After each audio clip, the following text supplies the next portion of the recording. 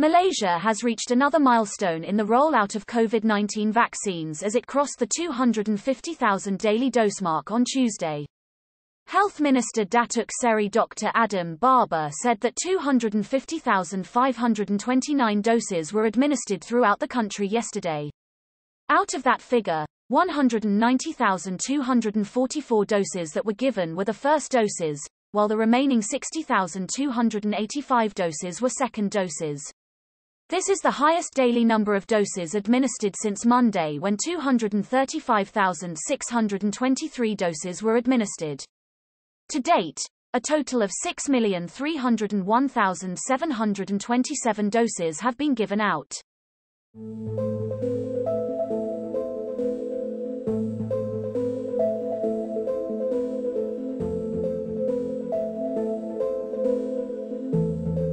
This means that about 5.3% of the population have received both doses of a COVID-19 vaccine.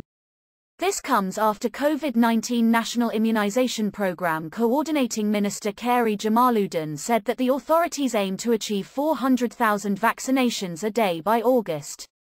He has also targeted to fully vaccinate 10% of Malaysia's population by mid-July.